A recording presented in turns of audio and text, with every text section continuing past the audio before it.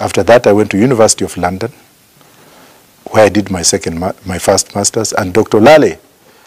Dr. Lale, I think he's at Kenyatta University. That time he was doing his PhD in SOAS, School of Oriental and African Studies.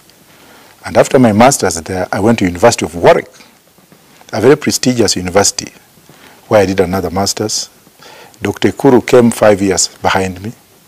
I've taught and I've been taught and I've had scholars coming in in that particular school. And I'm glad to say that I share a very eminent professor, Upendra Baxi, with the former Chief Justice Mutunga.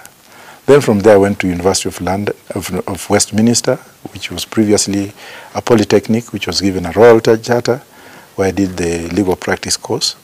Then from there I went to various universities for short courses, like the World University, where I did uh, refugee training and also did economics.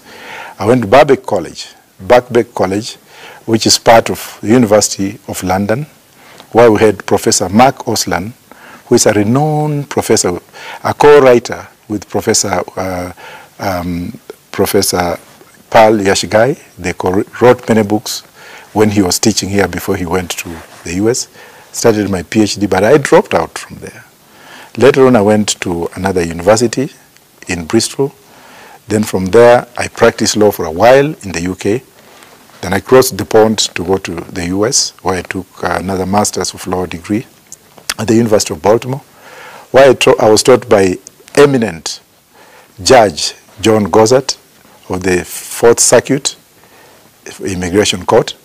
Then I moved to Southern California, where I went to Univer American Heritage University as a teacher, where I was actually I graduated with honors in terms of uh, um, when I was actually an adjunct professor, where I was uh, awarded a honorary PhD.